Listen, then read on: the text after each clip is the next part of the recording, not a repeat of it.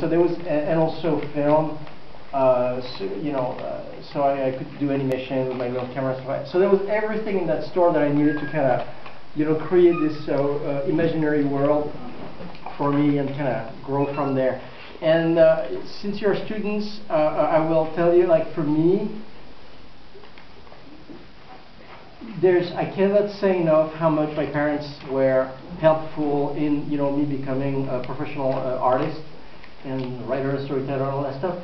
Uh, in the sense that even when I was little, they never looked at it as a hobby or an outlet. Like this is one of the words that I hate the most in life is, oh, it's an outlet. No, it's not a fucking outlet. it's my life's work. uh, so, but you know, like even when I was little, my parents would, you know, if I said I need this or that, they would get it for me eventually, and then they would always say, now you're all set up to do your work.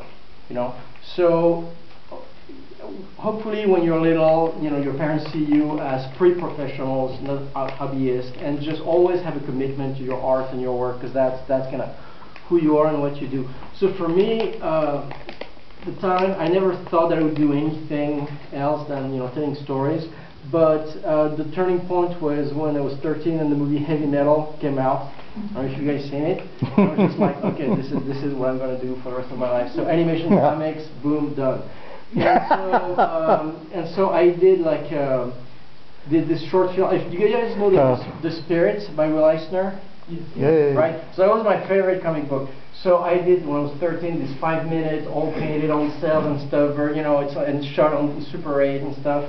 And it's on. I'm not gonna force it on you right now, but if you're curious, it's on YouTube. You can look at it. My name, The Spirit, or whatever, and it's uh, it's fun. Uh, anyway, so. Um, and so throughout my, uh, you know, all the way through college, uh, I was spending my time between animation and comics.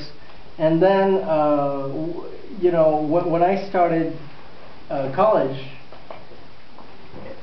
the animation industry was nothing. It was tiny. It was really on the the lowest uh, point in the you know in the in the cycle.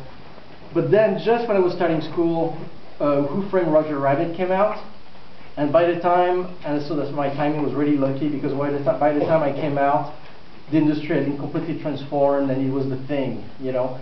And so, uh, so long story short, you know, to follow the, uh, uh, going on, uh, I don't know how many years uh, in animation, you know, some of the, the favorite projects that I worked on well, of course, the Iron Giant, which was uh, uh, uh, was a wonderful experience. We're you know, if we guys.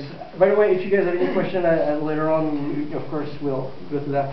But that we could talk about that for a while if you wanted.